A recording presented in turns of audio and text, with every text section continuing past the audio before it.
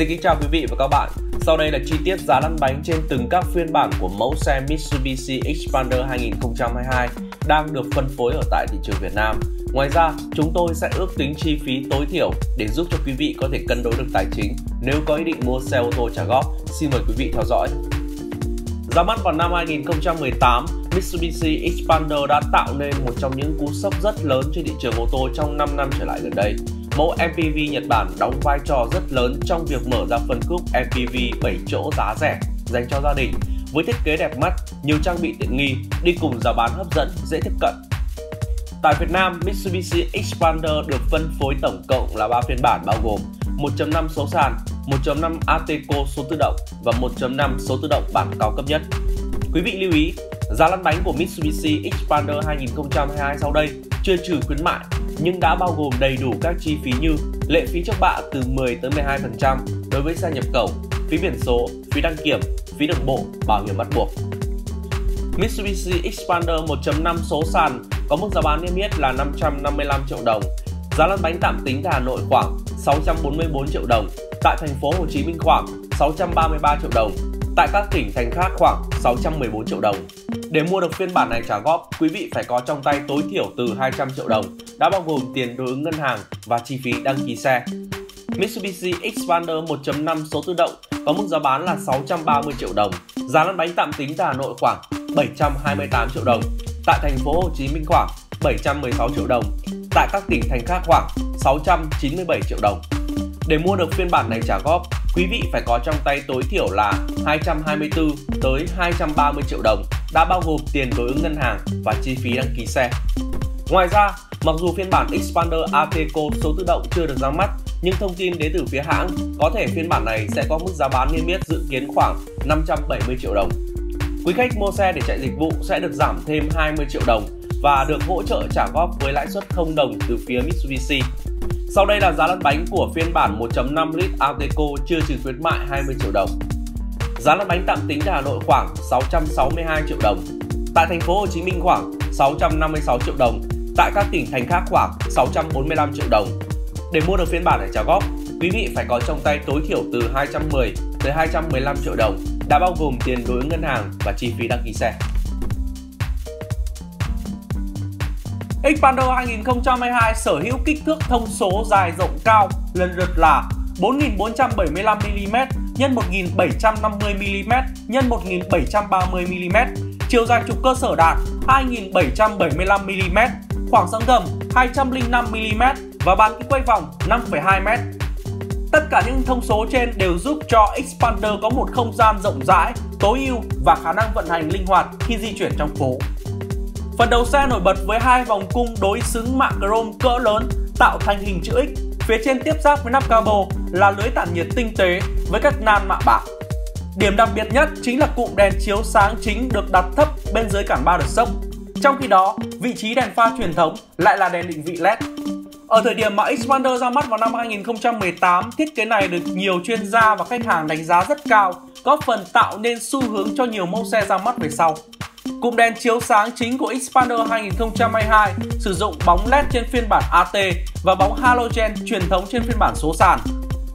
Trên phiên bản Xpander số tự động, nhà sản xuất còn trang bị thêm cho xe đèn sương mù halogen giúp mở rộng tầm quan sát khi xe di chuyển đi qua khu vực có sương mù hoặc thời tiết xấu. Ngoài ra, cả ba phiên bản đều được trang bị đèn chào mừng và đèn hỗ trợ chiếu sáng khi rời xe. Khu vực cảm trước của Xpander 2022 được thiết kế đối xứng với cụm lưới tản nhiệt chữ X ở trên. Đây cũng là khu vực bố trí cụm đèn sương mù trên phiên bản AT, vừa tăng tính thẩm mỹ, vừa tăng giá trị sử dụng của xe. Tiến về hai bên, thân xe của Xpander 2022 có những đường gân dập nổi mạnh mẽ, hiện đại, đối xứng trên dưới hài hòa. Kết hợp với phần đầu xe vuông vức, hốc bánh xe phía trước được tạo nên bởi một khối cơ bắp chắc chắn, dù chỉ là một trong những chiếc xe MPV dành riêng cho gia đình. Bên trong la răng là hợp kinh 16 inch thiết kế hình cánh quạt với hai tông màu, được cắt và phay bóng đem lại nét hiện đại, tinh tế. Trên thân xe còn được trang bị cụm gương chiếu hậu chỉnh điện, tích hợp đèn báo rẽ cho cả ba phiên bản. Phiên bản số sàn có phần gáo gương được sơn đồng màu với tay nắm cửa và thân xe. Trong khi đó, chi tiết này trên phiên bản số tự động được mạ chrome và gương chiếu hậu có khả năng chỉnh gập điện tiện dụng hơn. Phần đuôi xe của Xpander 2022 sử dụng cụm đèn hậu LED hình chữ L, cách điệu, đẹp mắt và đầy cá tính. Trang bị thân xe bao gồm tay nắm cửa tích hợp, chìa khóa thông minh, camera lùi, đèn phanh trên cao LED, anten với cá mập. Khoang cabin của Xpander 2022 mang phong cách thiết kế nội thất đơn giản, gọn gàng và có phần già dặn. Chất liệu da màu xám xuất hiện xuyên suốt khoang lái của phiên bản AT. Đặt ở vị trí trung tâm là màn hình cảm ứng 7 inch trên phiên bản số tự động, đầu CD trên phiên bản số sàn. Ngay phía dưới là các cửa gió điều hòa và cụm điều khiển điều hòa trung tâm được sơn đen bóng. Vô lăng trên xe sử dụng thiết kế 3 chấu to bản truyền thống, đặt ngay phía sau là cụm đồng hồ táp lô dạng analog bán điện tử, cung cấp đầy đủ các thông tin thông số vận hành cho người lái một cách đơn giản và dễ sử dụng. Phần tiện ích giải trí, Expander 2022 được trang bị phần màn hình cảm ứng trung tâm 7 inch đi kèm với hệ thống 6 loa trên phiên bản số tự động. Có khả năng kết nối với Apple CarPlay, Android Auto, USB, Bluetooth. Trên phiên bản số sàn hướng đến nhóm khách hàng chạy dịch vụ nên chỉ sử dụng đầu CD 4 loa để cắt giảm chi phí. Tất cả các phiên bản đều được trang bị hệ thống điều hòa chỉnh cơ với cửa gió riêng biệt cho hàng ghế sau. Đặc biệt, hệ thống cửa gió sau trên Expander được bố trí ở khu vực trần xe, vừa giúp tăng độ thoải mái cho hành khách, vừa tạo thêm không gian trống cho khu vực bệ tỉ tay phía trước. Các tính năng như vô lăng điều chỉnh 4 hướng, kính lái chỉnh điện một chạm, móc cố định ghế trẻ em Usofix, gương hậu bên trong chống chói hai chế độ ngày và đêm là những trang bị tiêu chuẩn trên tất cả các phiên bản. Ghế ngồi trên các phiên bản Expander số tự động được bọc da màu xám, trong khi các phiên bản số sàn vẫn sử dụng ghế nỉ. Ghế lái chỉnh cơ là trang bị tiêu chuẩn trên cả hai phiên bản. Hàng ghế thứ hai của Mitsubishi Expander được chuyên gia và khách hàng đánh giá rất tốt. Khoang để chân và độ ngả lưng ở hàng ghế sau của xe phù hợp với những khách hàng có chiều cao trên 1m75. Đặc biệt, hàng ghế này có thể điều chỉnh theo bốn hướng, trượt lên, trượt xuống và ngả tựa lưng, giúp người ngồi thoải mái hơn khi đi xa. Bên cạnh đó, khoang để chân ở hàng ghế thứ ba có mức không gian được đánh giá là rộng nhất ở phân khúc. Dung tích khoang hành lý của Mitsubishi Xpander 2022 cũng vừa đủ dùng cho những chuyến đi ngắn ngày với đủ 7 người. Khoang hành lý này chứa đủ hai vali cỡ chung và có thể mở rộng khi gập tiếp các hàng ghế thứ hai và thứ ba.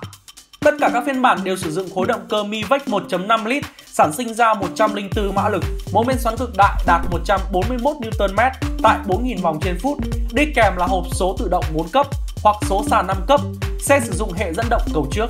Mitsubishi Expander đạt chứng nhận 4 sao về an toàn của các tổ chức đánh giá xe mới Asian NCAP. Bên cạnh đó, các công nghệ an toàn mình xin phép được đặt bên trên màn hình giúp quý vị có thể tiện theo dõi. Vừa rồi là những chia sẻ chi tiết về chiếc xe Expander 2022. Cảm ơn quý vị và các bạn đã tham gia theo dõi. Xin kính chào và hẹn gặp lại.